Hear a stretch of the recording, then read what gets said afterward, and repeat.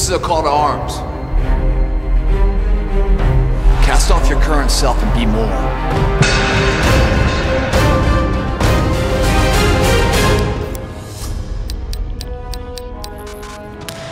MFT 28, the back workout. This is your morning mass workout to build your back. Your back is one of your major three muscle groups your chest, your back, and your legs. What happens when you work those guys? Your body naturally releases testosterone throughout the body, so everyone gets a little bang for the buck when you're doing back, chest, or legs. You're gonna go a little heavier. You're gonna need the straps, man, so you can really hold that weight because your grip strength will go out.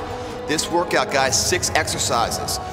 A lot of mass building, they're all supersetted, and a lot of these workouts and a lot of these exercises we're doing are a little bit different than what you're used to. You probably haven't seen some of this stuff. I'm gonna dump stuff at you guys. Use it, shake it, see what works. What doesn't work, dump it.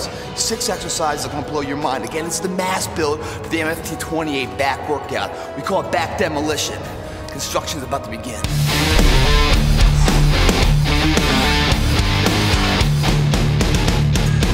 We get into all this, guys, let me explain to you what the back's all about. Yes, one of the three largest muscle groups in the body. So when we hit those muscle groups, natural testosterone is released throughout the body.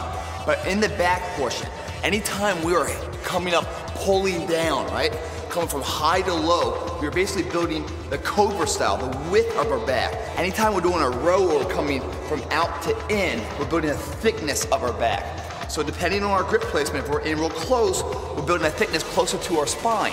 Now we're wider out, building the width of the back. This first set here, guys, is all body weight stuff. So we can go wide pull-ups, guys, then we go to mid rows, body weight, and then the ropes, okay?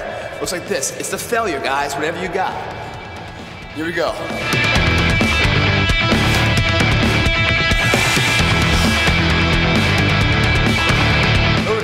I'm coming up and down there, my body's pretty much staying in line. There's not much movement right there. That movement's called momentum. That takes away from the targeted muscle region. We're trying to work the back. Momentum is a, is a shortcut solution, and there are no shortcut solutions to long-term situations. So we try to mitigate the movement. How do we do that? We lock our abs in, controlling the rep from the concentric to the eccentric portion of it all. Right when we finish that, back up here, body weight, we're gonna throw legs up here and do body weight mid rows, just like this. The only reps you don't grow from are the reps you don't do. Finish every set to completion. That way, when you walk out of here, sense of pride, fulfillment. You came in here with a plan, you did it right. That's growth, guys. Finish that right here on the rope, guys. Coming high to low. Come down to your knees right here. Bring the rope and separate it on your chest here. So come in here, pregnant pause, then back up.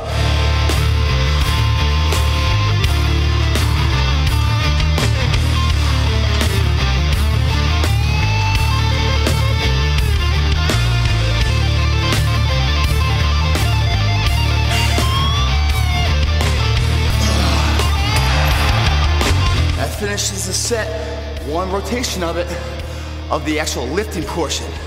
But like I said, we get a little more than just lifting here. We're gonna build the endurance of the muscle. In between the first and second, and the second and third, we're gonna continue the set by building the aerobic conditioning in an anaerobic state, the endurance of the muscle. We've got tire and sledgehammer. That's how we're gonna do it. We're looking for a duration of 20 to 30 seconds, continuous slams with sledgehammer. A lot of different variations hitting different muscle groups. Let me show you these different variations. One is obviously coming over top or right side, boom. That's very common for right-handers, right? So coming over the right side, that's good. But how about the left side? What's that all about? Oh, a little coordination factor working in too. Also hit from the left side, one coming back.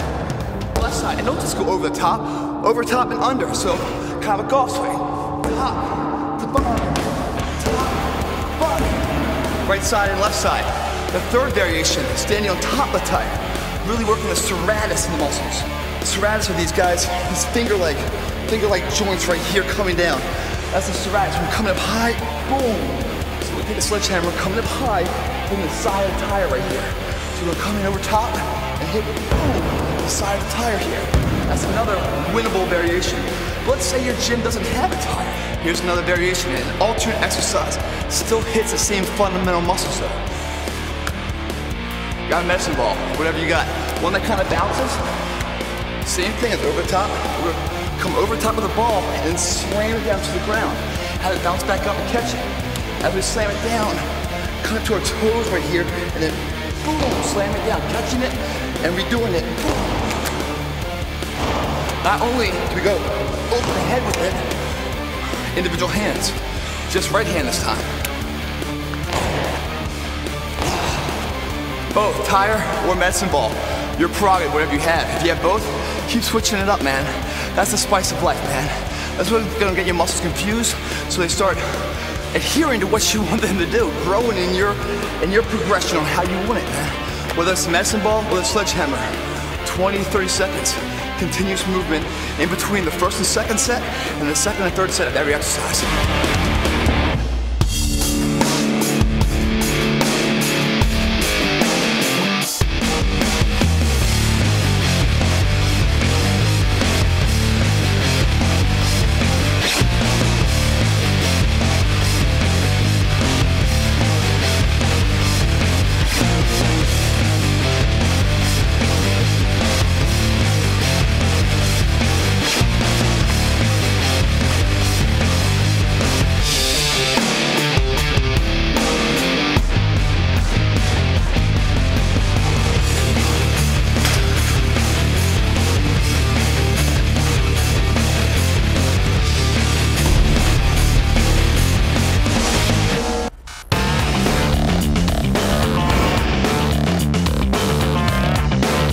Two, guys, in our back demolition workout.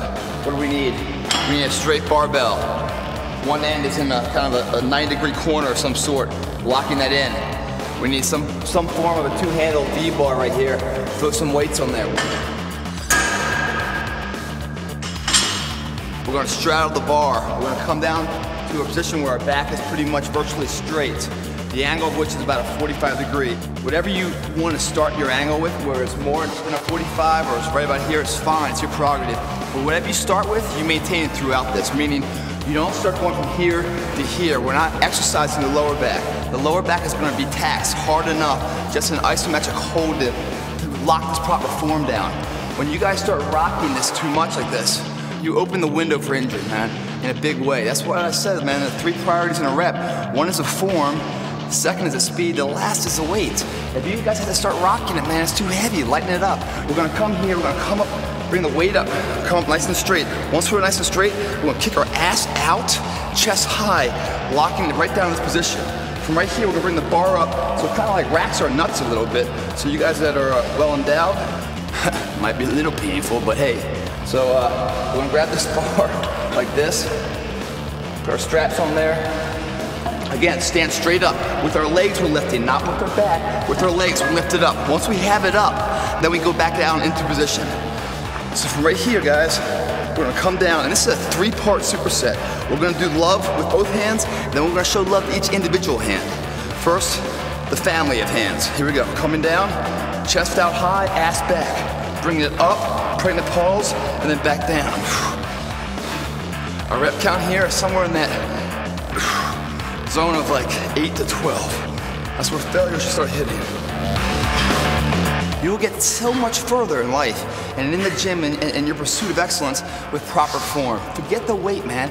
You're not here to satisfy anybody. Don't worry about their agreeability. They don't pay your bills, so don't give them any value, man. Come here with your mission, focus at hand, achieve what you came in, motivated to come back and do it again the next day, injury free. Ugh soon as we finish that, take our V-bar, put to the side. Two weights, lighten the load. Feel. On the one side of the bar. Whatever side you're on, you're gonna grab the bar with that hand. Same fundamental form. Just gonna grab the bar straight up though.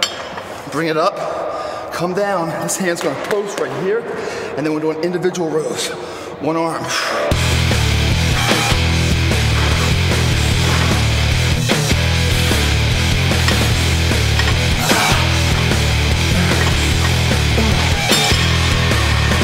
Other side. Got a little love for that side too. Most people just do the one set, but there's more to be gained here in this time. So what we did is that we hit the dual hands and we hit right and left to ensure there's nothing left behind. We're moving for the best we can be. No wonders what if. Let's hear tires now, guys. That's not done.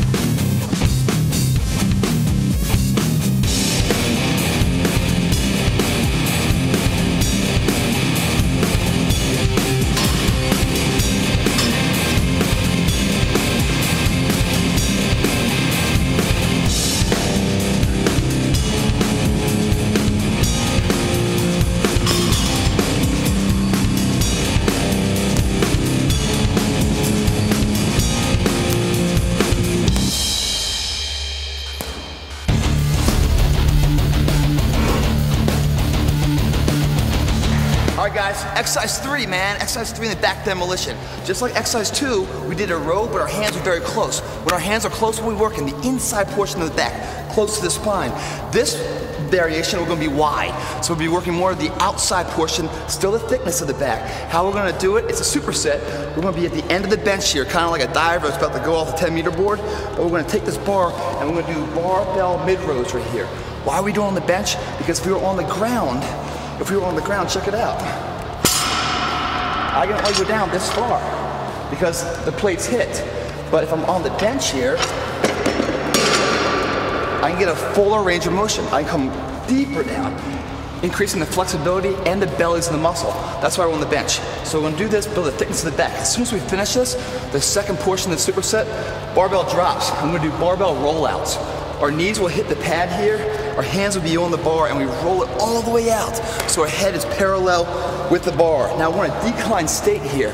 So as we bring it back in, what we're working, all the serratus, the finger light joints, you know, on the front side here, as well as elongating the lat. So, you know, we, we get both sides of the coin with this with this exercise. So here we go. Rep count somewhere between 8 and 12. Um, that should be right about failure for us, guys. Again, a little bit wider than shoulder width. We're gonna lift our legs once we get our uh, straps in there. Boom. Come down here, lift, lift our legs first. Come up, right to the edge, like we're a diver going off a 10 meter board. Come down here, back's kind of straight. Bring it up to our chest and back down.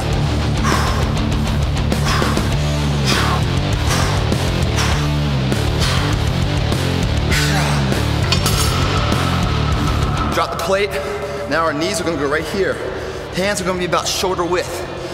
On the bar, we're gonna roll it all the way out, man. When I say all the way out, we're gonna be right here, looking up at the bar. That's a full extension. Don't shortcut it here, guys.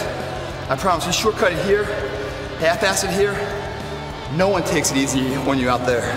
Pay your dues here on your terms. All right, here we go. Again, same rep count, about 10 to 12. Roll it out, all the way down. A little bit of a pause right here, and this is when your lats really activate to pull back in.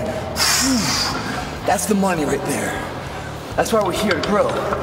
Right here is where we're really growing.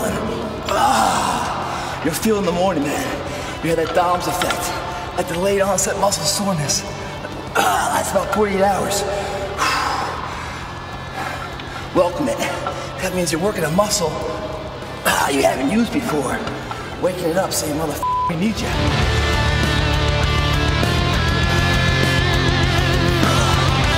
Life isn't a measure of the moments you take a breath, but rather a measure of the moments that take your breath away. That shit right there, going to the ends, giving all you have, helps to create those moments. Hello, Mr. Tire.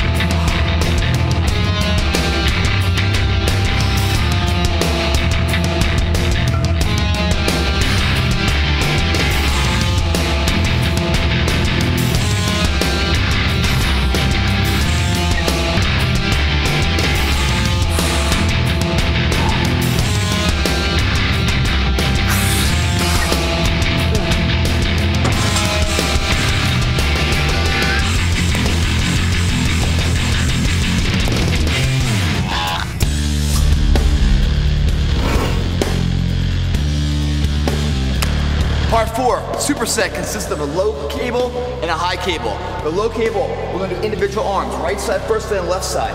Remember before when I said when you guys are doing pull-ups, anything from high to low pulls, you're building the width of your back, that kind of like cobra style.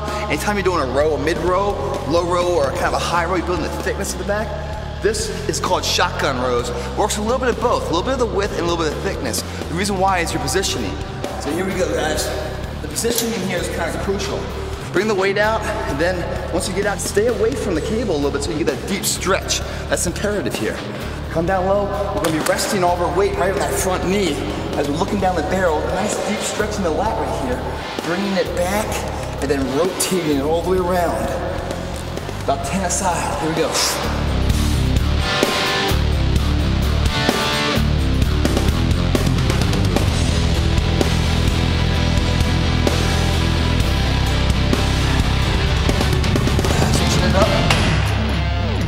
Straps worth the price of gold right now. Forearms will be shot by now.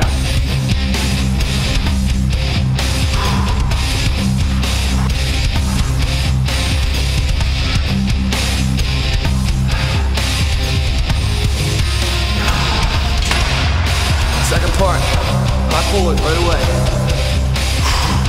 Get some separation from the, the pelvis, down, back up keeping our arms straight the entire time, back positioning, not moving, and just really bring it down. That's gonna really accentuate and stress the lat right there, much like those barbell rollouts are, but now from a different angle, hitting a little bit of a different part of that uh, lower lat.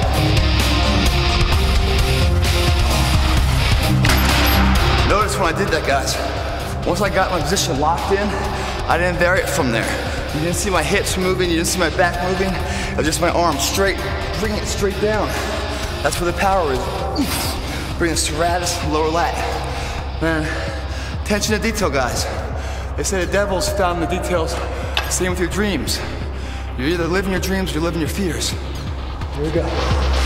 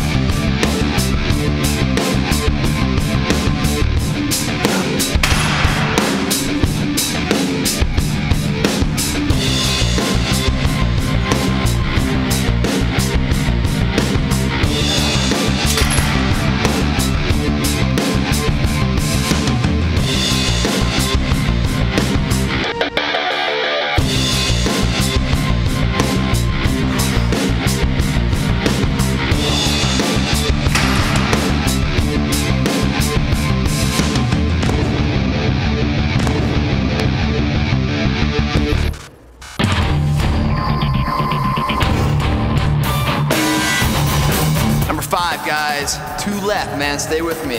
Our straps, as much value as they were, we no longer need them for this exercise. What we do need is some chalk in our hands. Why? Because the exercise we're about to do, we need all the grippage we can do, man. Get rid of the sweat on our hands, gives you a little bit of dexterity, a little bit of, of uh, grip power. Grab a bag like this, man. Kind of mix them up in there. Try to keep as much chalk as you can inside. The people at the gym would appreciate that. Close it up. Shake it off. A lot of texture. Why do we need texture? Two-part superset here. First thing is would be at the ropes. These are called London bridges. Have the rope thrown around the back side of the Smith machine and then over to the front. The bar of the Smith machine is right here about knee level, guys. What I'm gonna be doing is I'm gonna be standing on this up top here, and I'm gonna slowly lower myself all the way down, keep my body as straight as possible, and then bringing myself up, hand over hand, back to a standing position and then back down. Maybe like three, four iterations of that. They aren't easy, it's a lot of reps. What I love about this, guys, is I work in the eccentric portion of the muscle. What is that? When you make a bicep curl, basically, it's, it, it's the bicep shortening itself at a flex state, flexing and then shortening itself. That's called the concentric portion of the rep. The eccentric portion is when the muscle is flexed, forced to elongate. That portion, the eccentric portion, is the biggest mass builder. You see it a lot in negative reps. If you're on the bench and you're lowering the weight down slowly, That is building more strength to your muscle than any concentric is. The negative portion of the rep. As we bring ourselves down, we're gonna be coming down very slowly and we're letting ourselves down slow. So we're forcing our muscle to be flexed, but elongating at a flex position. Eccentric, huge mass builder, guys. As soon as we finish this first part of the superset, we're gonna come over here to our high pulley. Arms will be pretty smoked already. We're gonna come down to our knees and then we're gonna take our hand placement here and from palms out, boom, palms in. Right side, about 10 reps. Switch it up, left side, about 10 reps. This is a superset, man, that's I, I, get really excited about, man, because it's something different. Doing stuff like this, I'm sure like no one's ever seen it before. It breaks up the monotony, you know? It keeps your body guessing too. It helps to fight boredom and keeps your body guessing. That's a win for me, guys. And it's a lot of fun to do. Here we go. Make sure no one's behind you. They're called London bridges. The bridge goes down and comes back up, so about three, three rotations of it. And then we'll go into the high pulleys. Keep your body about as straight as possible, you know? Really rigid here. It down and then back up. Hand over hand. That's the only rest right there.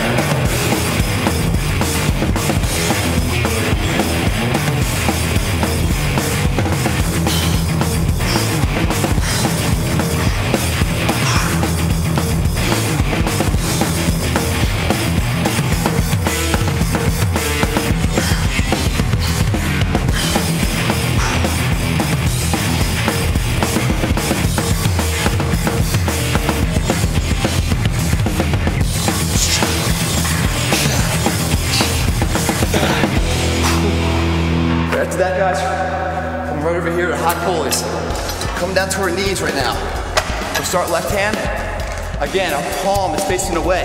We're gonna bring that down. As we bring it down, elongating the lat right here. Bring it down, rotating it all the way around, all the way down below our shoulder. And then back up.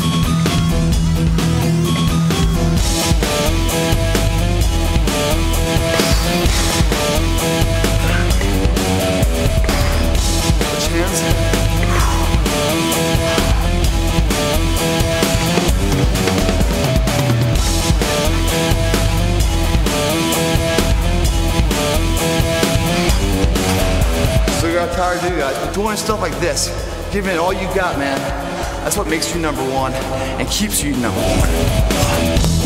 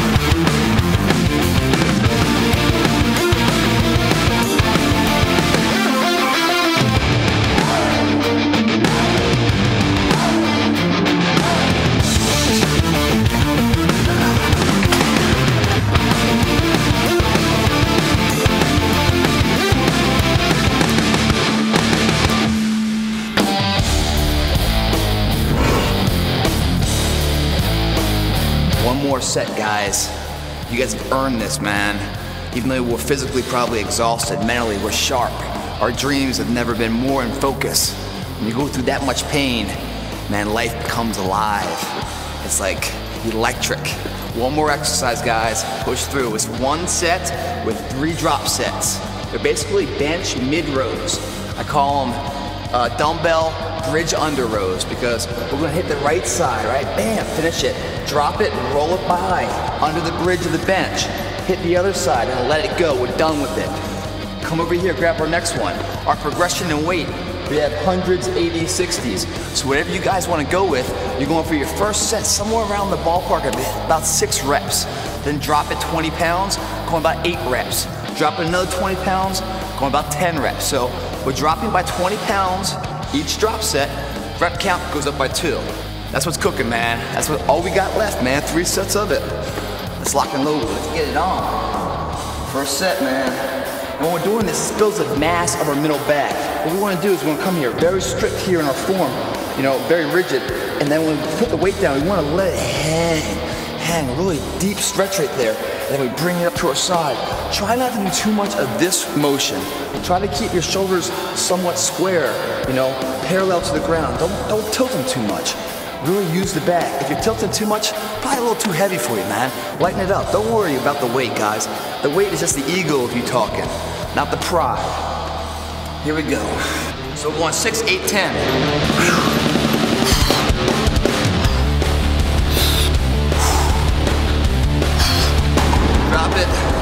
roll it. Regrip it. By the way, I got my straps on. Hell yeah, hells bells. Here we go.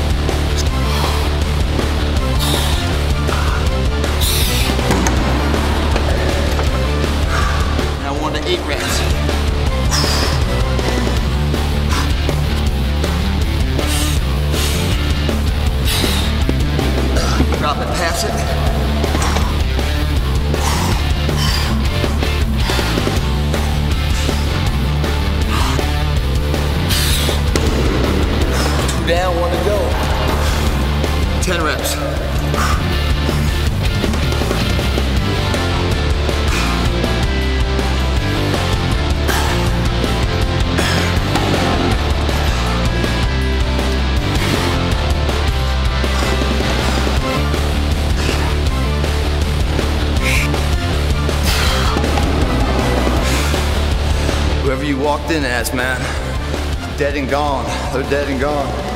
Say hello to the new you, man. Be proud of that person. You've earned it. Freedom, motherfucker.